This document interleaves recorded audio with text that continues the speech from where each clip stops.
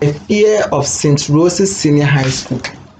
The fear of St.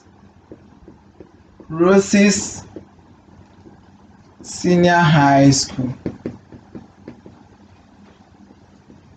is known as rosecophobia, rosecophobia or, or Saint Rosisophobia. Yes, so Saint Rosisophobia or rosecophobia refers to the fear of Saint Rose's Senior High School. The fear of Saint Rose's Senior High School is rosecophobia, rosecophobia or Saint Rosisophobia, Saint Rosisophobia. Yes. So a person who fears, a person or a school an individual that fears Saint Rose's Senior High School is known as it's known as rosecophobic person.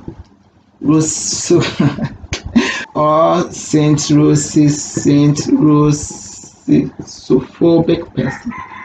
Mm. They fear or dislike St. Rose's Senior High School.